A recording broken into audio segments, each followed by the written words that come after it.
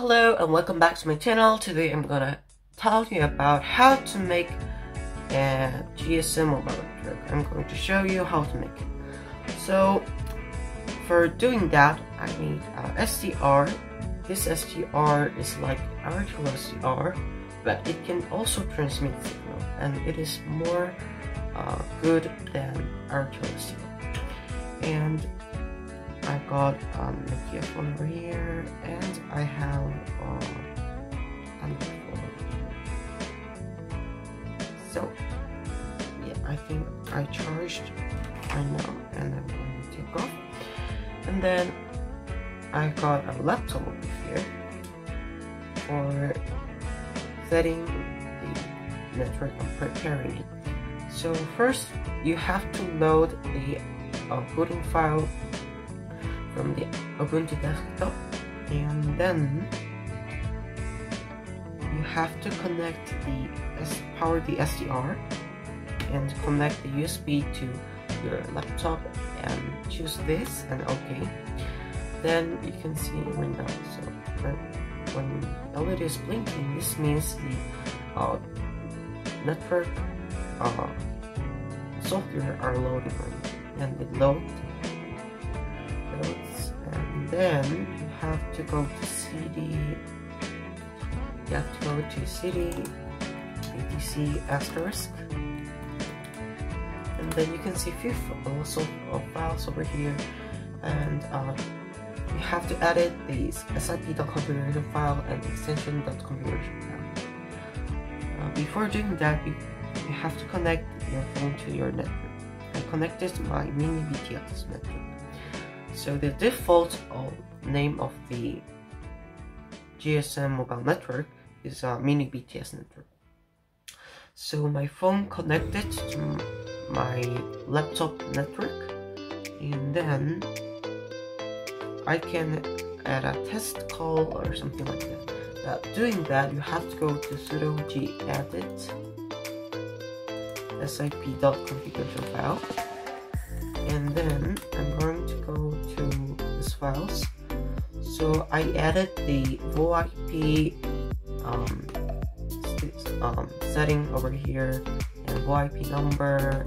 And I added the IMSI number. So when you connected when you first connect your cell phone to this net mobile network then the system will give you a message from 101 number. Then you can see your IMSI number and change this to your IMSI number and put your um, number that you want then it'll work. Now and save and go exit and go sudo gedit gedit extensions configuration file. So and then I added the testing voice call system over here.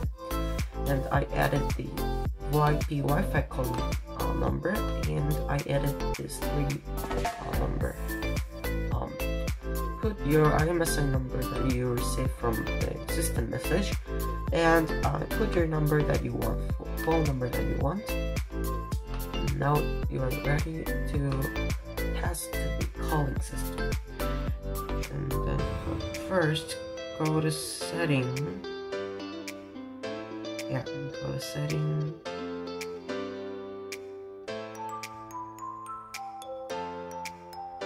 Okay, go to setting and um, connect your network. But first, I'm gonna test the testing calling.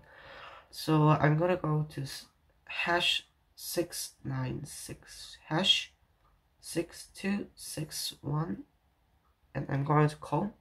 This is the um, testing calling that I made it. Yeah. It is going to work. So the testing calling are working very good. So the testing calling when I speak then the signal goes receives from the SDR and then it transmits the same signal to my phone, so I can speak to myself. So testing calling are actually worked very good. and I'm going to message to someone. I'm going to new message, but to do this, put your number that you want from 101. And then I'm going to message to 411 uh, to 411 and I'm going to tag go put a message to my laptop. Uh, I'm to put test and then send.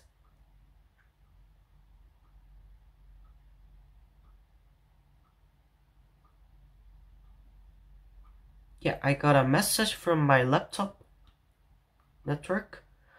Yeah my laptop um, answered to my message.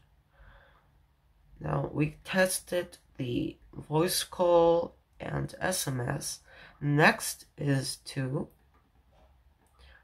use the web browser. So using the web browser I'm going to connect to the packet data service.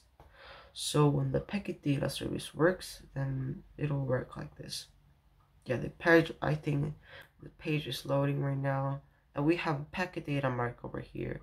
And i can load google. Yeah i can load google. Maybe i could put something else